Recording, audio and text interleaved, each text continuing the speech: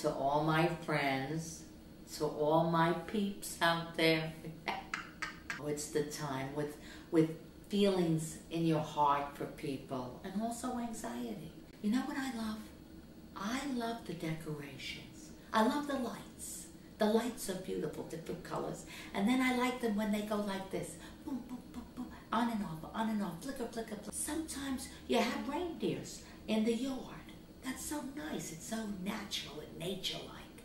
Oh, or a little fat Santa Claus, you know, ho, ho, ho, ho. I like when, when I see a wreath on the door. Some have berries, some have pine cones.